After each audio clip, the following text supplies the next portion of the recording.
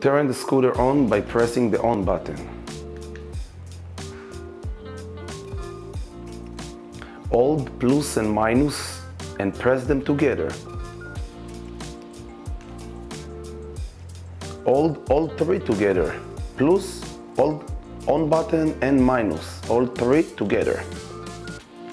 Let's do it again. All three together, it will take us to screen number eight. Now, by pressing the plus button, I will go to 31 mile. Now, hold the on button, we return to the main menu. Now, we push on the plus and minus together. By pressing the on button shortly, will take you to speed limit screen, pushing either minus or plus, and we can take it up to 30 miles. And then press hold the on button, return to the main menu.